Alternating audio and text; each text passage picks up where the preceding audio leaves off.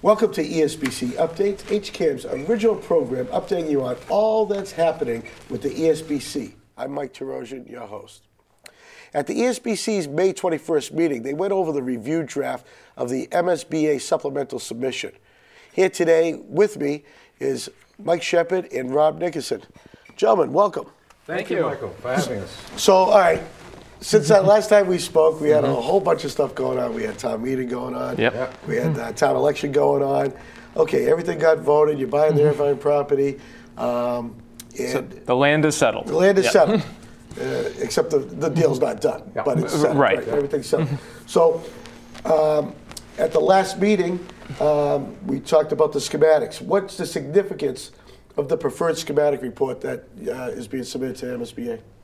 The schematic design um, is, is important in that it utilizes the educational plan, which was developed by the superintendent and the principal and their staffs, um, so that the building actually fits the plan as opposed to vice versa. Um, The, the design of the building and the schematic um, roughly shows the design of the building, the number of classrooms, the locations of the classrooms, how you get in and out of the building. Roughly shows the circulation around the building. Um, But the, the- the schematic design, we're now accepted on Tuesday, not Wednesday morning. The MSBA, the School Building Authority, invited us into this schematic design phase. Um, This is a relatively short phase with a lot of work has to be done. Uh, The edu- educational plan has been developed. Um, It's been submitted to the MSBA. Um, The architects are starting to work on the schematic design. Uh, Nothing is cast in stone in the schematic design. Um, There, you know, there are uh, parts of it that are subject to change, but what we're trying to do is we're trying to put a school on the property that best fits the property, but most importantly, a, a school that fits the educational plan of the educators. Um, To give everybody a little bit of update, this, this new phase we're in, this schematic phase, um, in November of 2013, the MSBA invited us to this eligibility period. And then in March of 2014, they invited us into the feasibility uh, uh, period. And this past Wednesday, we're into the schematic period. The next phase, there's seven phases altogether, the next phase is actually project funding. Uh, The schematic designs get submitted along with the educational plan to the MSBA, and they'll approve it. And then the next phase is the funding phase where they'll, will enter into an agreement in terms of what they'll reimburse and what the potential costs of the building are. And then sometime in the fall, uh, hopefully the selectmen will schedule a special town meeting where the townspeople will get to vote on the project um, and the numbers will be attached to that. I'm, I'm sorry, it's kind of a long explanation. It's, a, it's a long one, but it- it's, it's very thorough because, like, like you said, there's a lot of work that has to go into this. So, a schematic, just for the people at home, is more like a sketch that is adjusted so they can come up with the final design. Yes, the, you, you can't build the building off the schematic design. The schematic design is pictures and elevations. It has no detail like the structural portion of the building or the electrical or the mechanical. It's more of a, a blueprint for what the final building is going to look like. Um, the important things are the, you know, the space that it, it shows the spaces where they are in relation to one another, um, and and it also the schematic design is not just about the building, but it's about the surroundings and the the land, the vegetation, the, The use the use of the everything. wetlands, Yeah. the traffic, the parking, Will there be trails, getting things like that? getting out. Okay. All that rolls into the schematic design. And uh, so that hopefully when we present to the special town meeting in the fall, they'll have a really, really good idea of what it, it, it'll be roughly what it looks like. So, in, in the fall, you'll be presenting a schematic, not a Absolutely. the final design. Yeah. Okay.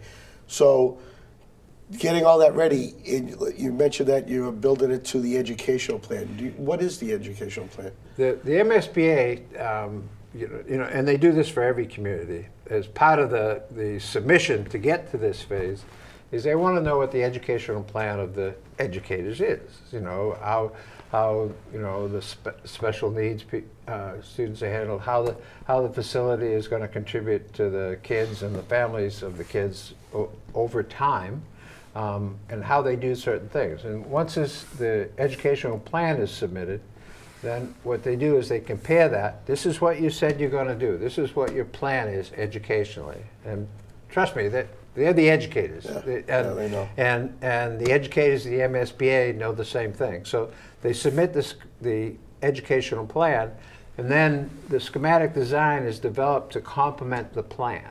In other words, it- there'll be nothing in the design that isn't uh, designed to complement the educational plan. And it's, it's not the plan first, and then the edu, it's not the schematic design first, and then you figure out what you're gonna do educationally, make fit, which would be a lot easier, Right. but it isn't the way they Well, do well, it. they constantly, I mean, the school committee and the uh, superintendent constantly are working on the educational That's- plan. absolutely. And so there, there is one now. Yeah. Do we know what that is, by any chance? What the, because I know it's P, pre-K, K, and one. One. Yep. Do we know any details about the plan itself? I'd be- it'd I'm- I'm not uh, familiar with them. There's a, there's a rough draft of the educational plan. Right. We that- we reviewed the draft at the ESBC, uh, the the last last ESBC meeting.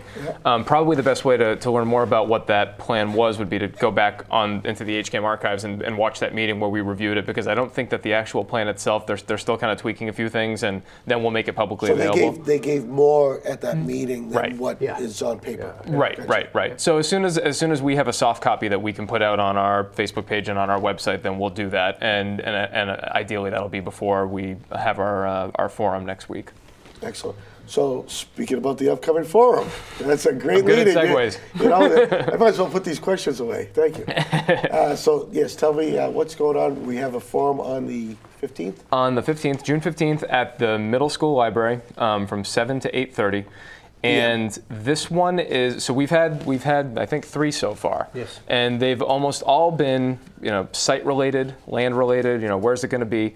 We're really starting to get into the what I think is one of the really exciting part, parts of the project is showing what the building could look like. And I think a lot of people you know now that they know that there's this big green area that we're going to put a school in, they want to know well what is this school going to actually look like. Um, on our Facebook page, uh, facebook.com slash Hopkinton ESBC, and on hopkintonschoolproject.com, we've already shared some of the initial renderings that, that have been made available. So we have, and obviously it's not easy to see here, but we have, uh, you know, sort of what it would look like from a, from a south-facing aerial view. We also have other ones that show what it looks like from the north. Um, but these are what the architects have come up with based on what they know of the educational plan. Um, and the really interesting thing about this is, is that you know it's it's easy to look at this, and you can say a bunch of things. You can say, "Wow, this building looks really cool," or you can say, "I don't understand why they did this, that, or the other." But when you match this up with the education plan, it actually speaks to why they do certain things. Um, and architecturally, even some things that aren't in the education plan, you know, like I was curious, for example, about why, well, you know, there, there's this opportunity for a big long hallway in one of these wings, but they broke it up, they staggered it. Why did they do that? Well, there's actually a reason why they do that for elementary schools, and it has to do with giving kids, you know, kind of smaller pockets to work in and not having these big, long, expansive hallways in front of them.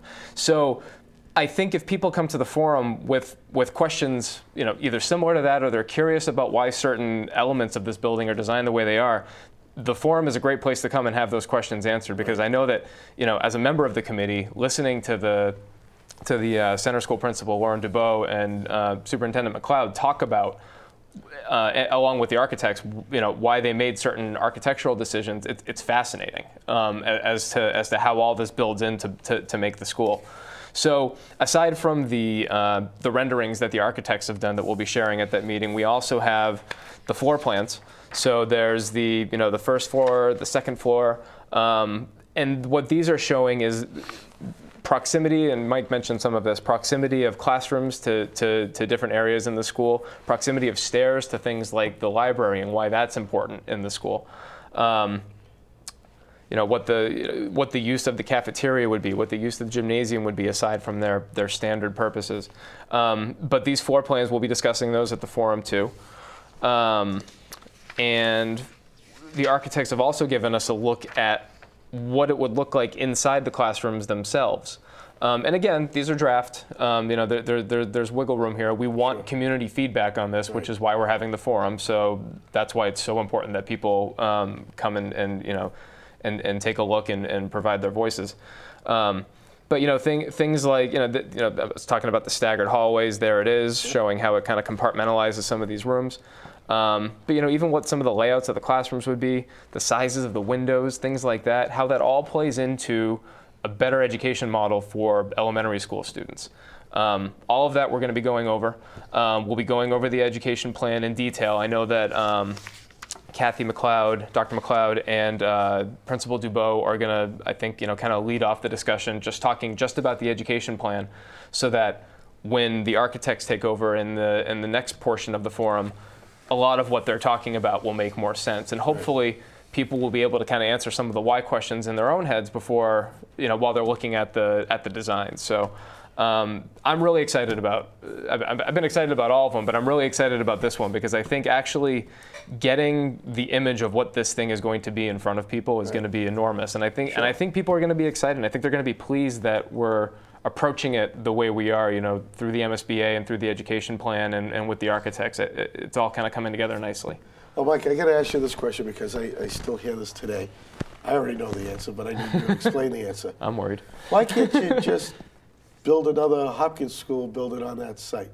Why, why can't you just build another high school site, build it on that site? Can you explain? The, the, e- every age group has different uh, parameters. For example, th- this elementary school, uh, first grade, the kindergarten rooms, they're all going to have toilet facilities within the rooms, as opposed to what you have at Hopkins, is much more conventional because that was designed for four or five uh, age group. Sure. Um, and everything is different in terms of you know how you get in, how you get out. Uh, the terrain is different. Um, it would be nice just to pull a plan out. In fact, the MSBA does have plans for, and they give you extra credit, meaning more money for. They have no plans for a K one school. They have Right. K through five. They have it, but and there's no stock plans. Um, they started that program probably, you know, seven or eight years ago about using the stock plan, and and the, and we found over time that what people do or towns do is they modify the stock plan to the point where it's not the same plan anymore Right. anyway, because every educational plan is different. There is not a statewide educational plan for K one. This is something that's developed locally because they want the local um, uh, school authorities to, to, to develop. So Hopkins was built for that age group students on that site.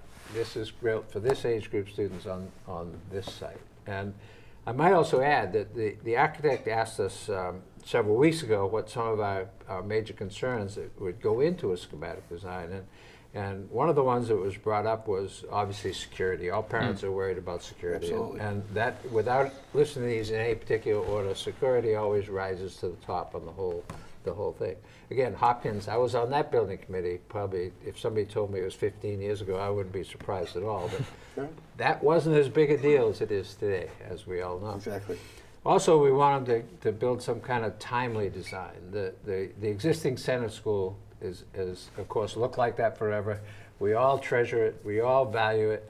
It's 85 plus years old, and it still looks great.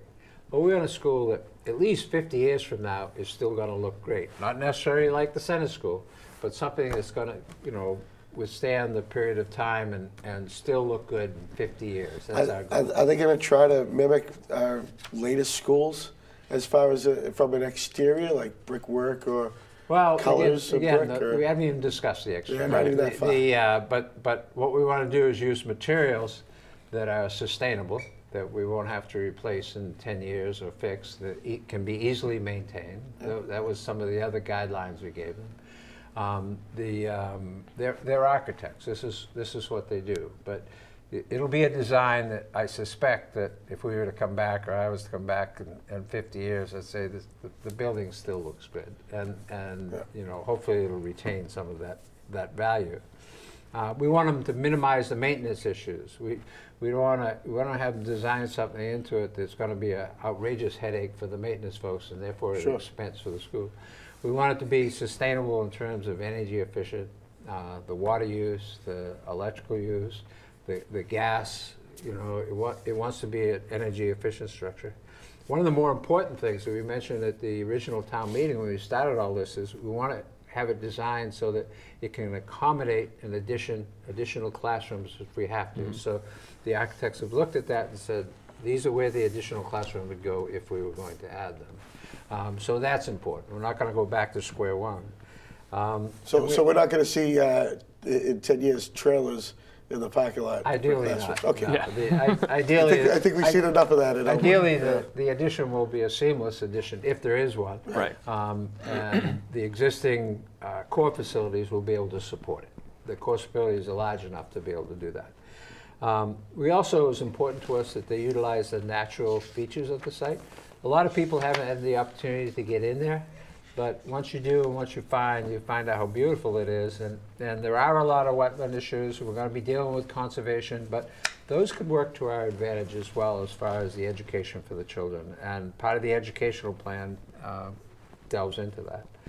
Um, So that was, that was pretty much it. They, and this schematic that the people are gonna see, I, I- I think they're posted, some, these posted somewhere? They're all online. Yep. Yeah, they're all online and you can see them, but they were, those issues, those items were used to come up with this. And that's what the committee. And this isn't set in stone because th- this is why we're meeting on the 15th Yep. to Right. work, work out some of the bugs. And the, the other thing, bef- before I forget, because it's relatively important, uh, you know, other than this paperwork and the architects working, um, there are engineers out there at the site now as well. Right. They're, they're doing the, the, uh, the- the plan of the land, there's the actual survey of the bounds of the land. The, they're actually uh, annotating where the wetlands are, because all that is going to contribute to the final plan and the final location Yep. and ultimately the cost, uh, but it has to be done. So we're not waiting, you know, we're doing that right now.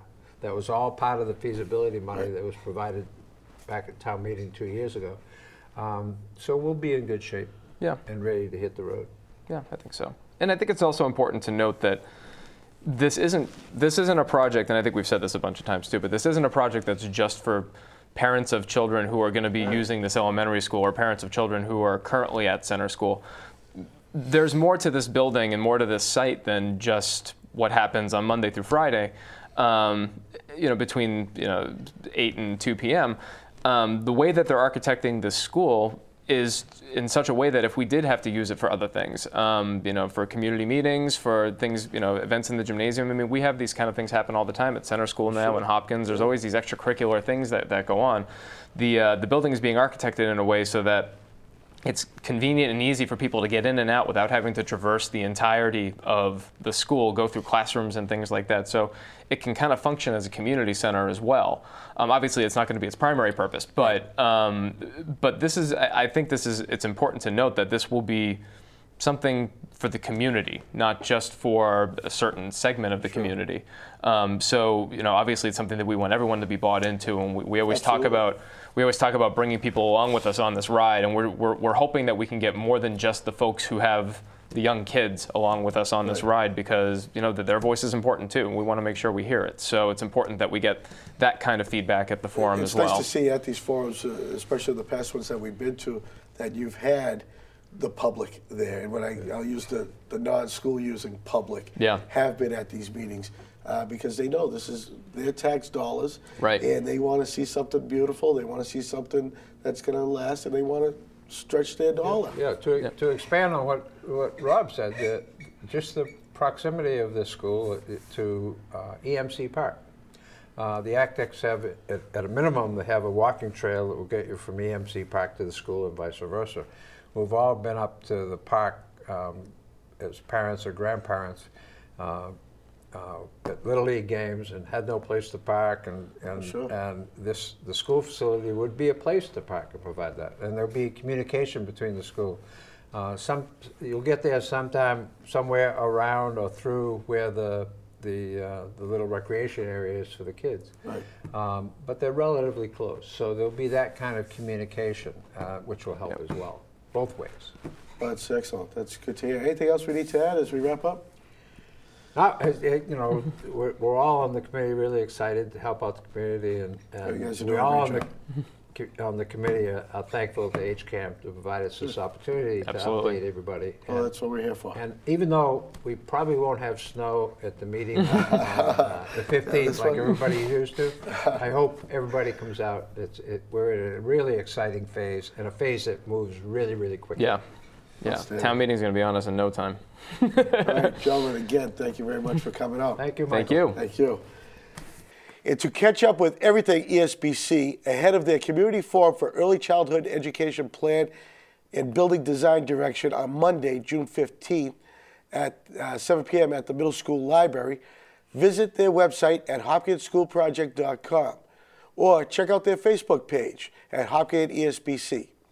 You can also watch all the ESBC's meetings and past episodes of ESBC Update anytime by visiting hcam.tv.